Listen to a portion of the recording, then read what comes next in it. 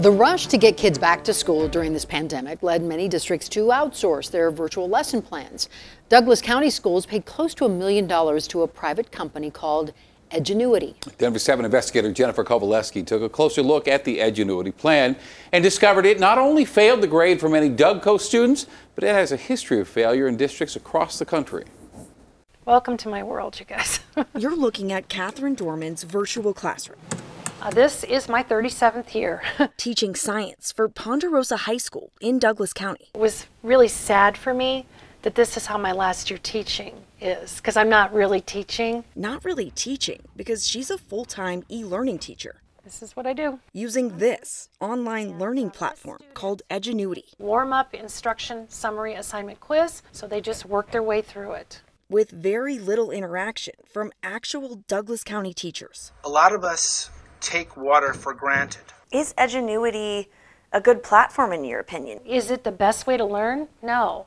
Not at all. Welcome to Edgenuity. Douglas County Schools paid Edgenuity more than $800,000 to take over the district's online learning, teaching nearly 6,000 students, grades K through 12, who signed up for remote learning. A platform Denver 7 investigates found elementary schools are no longer even using. They just stopped using it.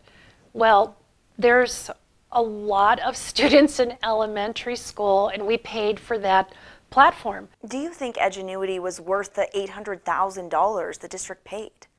No. I mean, that's a lot of money. The next topic on our agenda. The public first learned about the deal at an August 4th board meeting, days before teachers were scheduled to go back to work. We want to talk a little bit now about Edgenuity. Marlena Gross Taylor, the district's former chief academic officer, signed on the dotted line.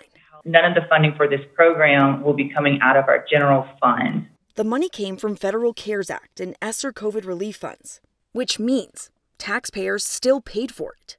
The deal was rushed through with a no bid process because of the pandemic.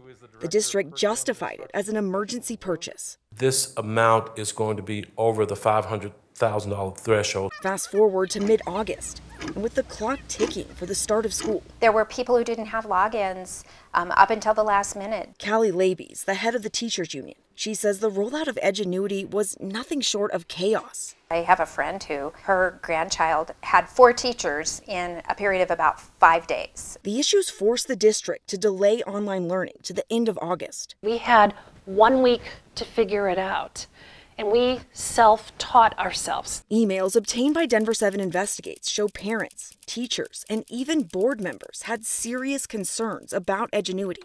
A third grade teacher wrote, We are one week away from starting with students, and teachers do not even have access to the main resource for e learning. One parent wrote, This is not what I signed up for when we chose the remote option. I'm feeling very much like a bait and switch has occurred. We've ended up with a platform that has created great inequities for our students, and um, some of it has just frankly been wasted. Money wasted because elementary schools stopped using it and there was no refund to the district. When resources are as limited as they are, that money could absolutely have been better spent. Maybe that CARES Act money could have gone towards not having furlough days for teachers. Dorman says instead of paying a private company to outsource learning, e learning teachers could have created their own curriculum and taught it virtually. Hybrid teachers were already doing that once school moved back to full remote. I think I could have developed online courses. There was no due diligence done. Teachers didn't have a say in this. Other districts, like Cherry Creek, chose not to outsource its online learning to a private company. Instead, it used CARES Act funds to pay existing teachers extra money to get its platform up and running. And Douglas County isn't the only school district with edgenuity problems. Tennessee parents protested against the all virtual platform holding up signs that said Edgenuity does not equal its teachers. In Auburn, Alabama, the former Speaker of the House was recently convicted for accepting a more than $200,000 payout from Edgenuity. There were two people who are no longer with us who made that decision, and it didn't seem very transparent. Those two people are Superintendent Thomas Tucker and Chief Academic Officer Marlena Gross Taylor. I think they abandoned ship uh, and I feel that it's very unfair to those who were left behind to implement those decisions. We wanted to ask Interim Superintendent Corey Wise what he plans to do about it. But the district declined our request for an interview.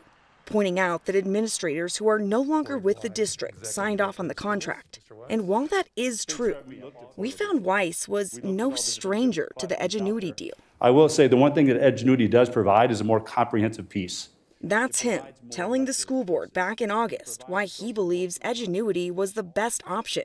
And you know, you just can't help but wonder did somebody, did anybody benefit In a lengthy statement, the district said that Edgenuity provided more value for the cost. It also acknowledged there were technical issues, integration issues, difficulty accessing customer service and technical support, as well as concerns with grade level content not matching what was originally guaranteed. The district says it's still trying to decide whether to extend its contract with Edgenuity for another year. I'm Denver 7 investigator Jennifer Kovaleski.